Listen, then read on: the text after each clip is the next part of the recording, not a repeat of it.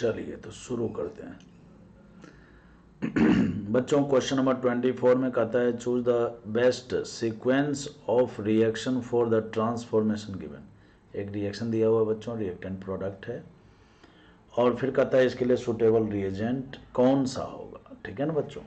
जैसे देखिए, पहला, ये क्या है बच्चों? एस्टर है। और ये क्या है? थ्री प्लस मतलब हाइड्रोलाइसिस जैसा कि आप समझते हो, एस्टर क्या है? हाइड्रोलाइसिस से क्या बनता है बच्चों? कार्बोक्सिलिक एसिड बनता है मेजर प्रोडक्ट के रूप में। तो बन गया। और यहाँ पर बच्चों मिथाइल है। फिर टू टू यूज़ करने से बच्चों कार्बोक्सिलिक एसिड कन्वर्ट हो जाता है किसमें? एसिड हेलाइड में, बोले तो क्लोराइड में।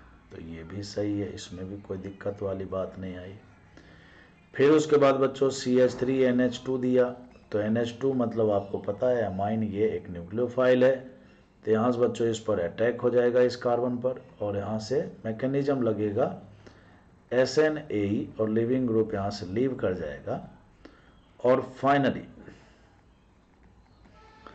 फाइनली बच्चों, यहाँ पर एन एच और सी एच थ्री ऑब्वियस बात है, इस एन पर प्लस आएगा और प्लस हटाने के लिए यहाँ से एच प्लस को रिमूव किया जाएगा और C H three N H two और जो हमें चाहिए वो मिल जाएगा। और बहुत ही आसानी से मिल रहा है।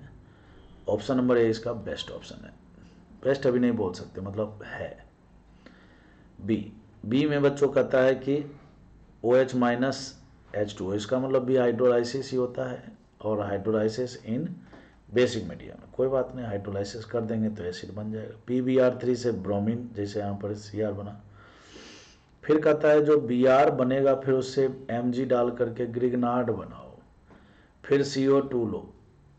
तो बच्चों, ये बहुत ही पेचीदा मामला है। कहने का मतलब ये बेस्ट मेथड नहीं है। लिथियम एल्युमिनियम हाइड्राइड इसको अल्कोहल बना देगा। अल्कोहल फिर एच बी आर से बच्चों, जो C H two O H है, वो C H two B R बन जाएगा। फिर मैग्नीशियम डालेंगे तो ग्रेगनाट बन जाएगा। फिर सी ओ टू डालेंगे फिर से कार्बोक्सिलिक बनेगा। फिर हाइड्रो फिर ये भी लंबा चौड़ा मेथड है बच्चों, ये भी कोई मेथड बेस्ट मेथड नहीं तो बेस्ट मेथड यहाँ पर ए ही। अब हम बात करेंगे क्वेश्चन नंबर ट्वेंटी फाइव में। कहता है ए की स्टेप की step in the hydrolysis of acetamide basically बच्चों, ये एसिटामाइड है और एसिटामाइड का रिएक्शन कराया गया है। कहता है एक्वस एसिड एक्वस मतलब पहले तो वाटर लीजिए। और साथ ही साथ यहाँ पर एसिड लीजिए। तो कहता है कि जब एक्वस एसिड के साथ एसिटामाइड का रिएक्शन होगा तो रिएक्शन प्रोसीड कैसे करेगा? है ना? जो रिएक्शन जब प्रोसीड होगा तो जो बनेंगे, क्या बनेंगे? है ना?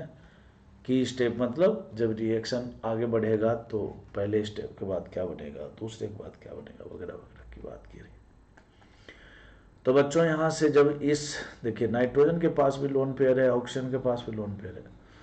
नाइट्रोजन का जो लोन पेयर है बच्चों, वो है delocalised lone pair sigma pi और ऑक्सीजन का जो लोन पेयर है बच्चों, वो है लोकेलाइट आपको पता है लोकेलाइट लोन पेयर में इलेक्ट्रॉन डेंसिटी ज़्यादा होती है तो इसलिए ऑक्सीजन से ही अटैक होगा यहाँ पर। जैसे ऑक्सीजन से अटैक होगा बच्चों तो यहाँ पर ये बन जाएगा ओ पर प्लस और यहाँ पर एन एच टू ये बनेगा। और बाकी में बचा, बचेगा क्या यहाँ पर बच्चों? एच टू बचेगा। ठीक है ना? फिर अगले स्टेप में क्या होगा बच्चों? इसका अटैक होगा यहाँ पर। है ना बच्चों? अगले स्टेप में क्या होगा? यहाँ पर अटैक होगा। जैसा कि आपको पता है यहाँ से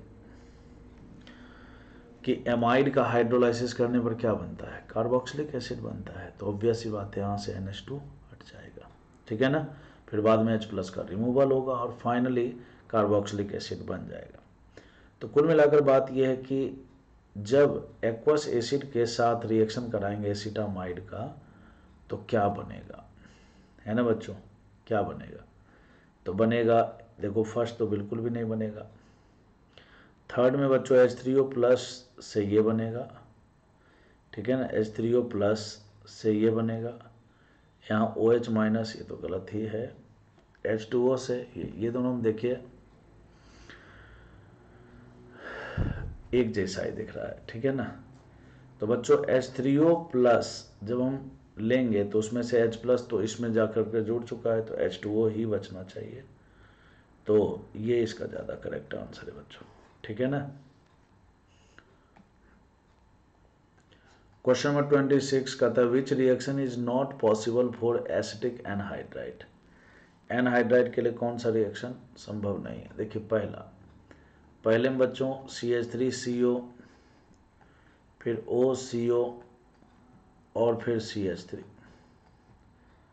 और यहाँ पर बच्चों दिया है प्लस में एन एच और सी एच थ्री का होल ट्वाइस यहाँ नाइट्रोजन का अटैक होगा इस पर, ये बॉन्ड टूट जाएगा। और फाइनली क्या बनेगा? सी एच थ्री सी ओ फिर एन और बच्चों, यहाँ पर सी एच थ्री का होल ट्वाइस तो यहाँ पर आराम से रिएक्शन हो जाएगा ये।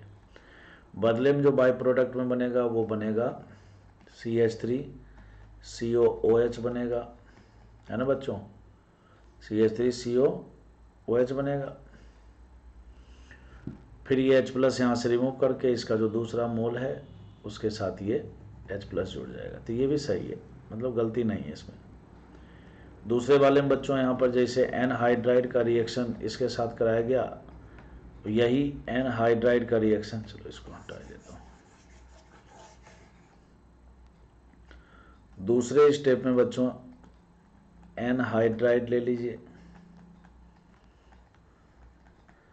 और इसका रिएक्शन करा दीजिए अल्कोहल के साथ। जब आप अल्कोहल के साथ इसका रिएक्शन कराओगे तो इसका अटैक होगा, यहाँ पर ये टूट जाएगा बच्चों, और एस्टर बन जाएगा। कोई दिक्कत की बात ही नहीं है। और साथ ही साथ ये जो यहाँ से रिमूव होगा, वो एसिड बना लेगा एच प्लस लेकर के। तो ये भी सही लग रहा है। है ना? तीसरा जो है बच्चों वो होता है, तीसरा जो रिएक्शन है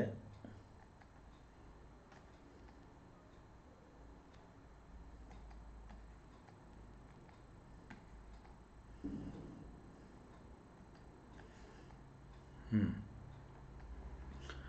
तीसरा जो है बच्चों, वो है mechanism E S R electrophilic substitution reaction पर बेस्ड है बच्चों इसमें क्या होता है, जैसा कि आपको पता है सी सिक्स एस सिक्स मतलब बेंजीन है है ना बच्चों?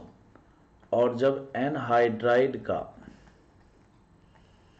एन हाइड्राइड का लुइस एसिड एल थ्री के साथ रिएक्शन कराते हैं तो बच्चों ये यहाँ से टूट जाता है और बन जाता है एसाइलियम ये इलेक्ट्रोफाइल है। और बेंजीन का जब इलेक्ट्रोफाइल के साथ रिएक्शन होता है बच्चों तो इलेक्ट्रोफिलिक सब्सटीट्यूशन मतलब यहाँ से हाइड्रोजन हटेगा और यहाँ पर ये इलेक्ट्रोफाइल आकर के जुड़ जाएगा। जो कि ये प्रोडक्ट बनता हुआ दिख रहा है तो ये भी सही है। गलती कहाँ है बच्चों? गलती है ऑप्शन नंबर डी में। ऑप्शन नंबर डी में बच्चों, यहाँ पर N A C L C L minus का अटैक कराया है और फिर ये बनाए बच्चों। बनने वाला प्रोडक्ट एक तो एनो एन ए सी एल में आयनिक बॉन्ड होगा बच्चों। ठीक है ना? तो ऑब्वियस ही बात है, यहाँ पर इस बॉन्ड को तोड़ने के लिए बॉन्ड डिसोसिएशन एनर्जी भी ज़्यादा होगी। दूसरी बात सी एल माइनस का अटैक होगा। जब जो प्रोडक्ट बनेगा, यहाँ पर देखिए सी ओ ओ सी ओ मतलब कार्बन का ऑक्सीजन के साथ एनहाइड्राइड में बॉन्डिंग है और यहाँ पर बच्चों सी ओ सी एल है। ठीक है ना? तो जो बनने वाला प्रोडक्ट है, उसमें ऑक्सीजन से भी अच्छा गुड लिविंग ग्रुप प्रेजेंट है। तो ये रिएक्शन बच्चों बैकवर्ड डायरेक्शन में भी आ सकता है इसके अटैक के द्वारा, ठीक है ना? तो कहता है कि ये रिएक्शन कौन सा रिएक्शन पॉसिबल नहीं है? तो यही वाला रिएक्शन पॉसिबल नहीं है। क्यों? क्योंकि चूँकि यहाँ पर क्लोरीन गुड लिविंग ग्रुप है विद रिस्पेक्ट टू ऑक्सीजन तो बच्चों, ये रिएक्शन है ना? राइट हैंड साइड में भी ये रिएक्शन हो सकता है, और हो सकता है नहीं, बल्कि होगा, और ये रिएक्शन बैकवर्ड डायरेक्शन में आ जाएगा। तो कौन सा पॉसिबल नहीं होगा तो ऑप्शन नंबर डी इसका करेक्ट आंसर है।